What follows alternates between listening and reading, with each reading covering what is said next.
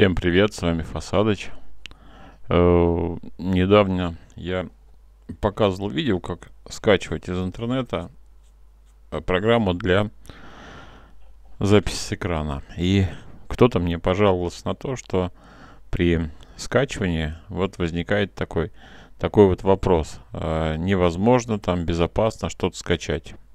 Как вот выйти из этой ситуации? Значит, это не факт, что вирус, не факт, что э, какая-то там нежелательная программа, хотя всякое может быть, вот, но иногда э, сам, сам Windows ругается на то, что не входит в его магазин, э, как сказать, мага, магазин его, где можно какую-то программу скачать, либо купив, либо условно купив, либо еще что-то, вот.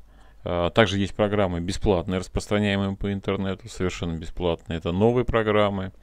Это кто-то вот написал, допустим, и хочется, никто его не знает, как ему, он же не может сразу продавать программу. Он должен сначала ее выпустить, так сказать, обрезанной версии, чтобы все потестили, поругались, либо полюбили ее. Вот также было много лет э, с известными программами, которые там Adobe Acrobat, он всегда был бесплатный, а в последнее время его сделали платным.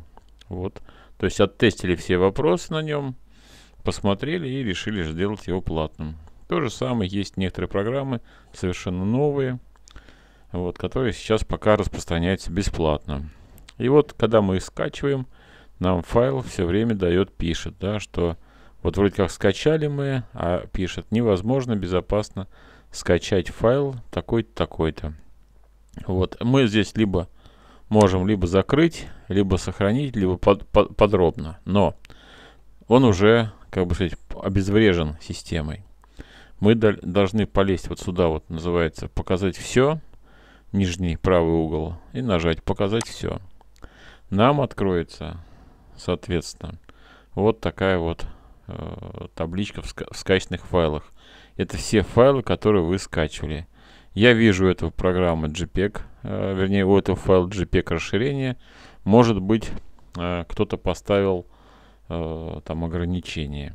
Да, то есть я могу его закрыть, либо просто написать сохранить.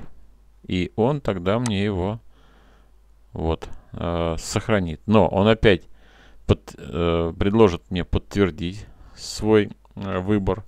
Либо здесь отмена, либо все равно продолжить.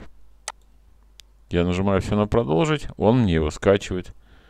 Я нажимаю здесь показать в папке. Вот этот файл, который я скачал с интернета. То есть все безопасно, все быстро и все правильно. Вот. Оставайтесь со мной. С вами был канал Роман Фасадович. Всего вам доброго. Не болейте.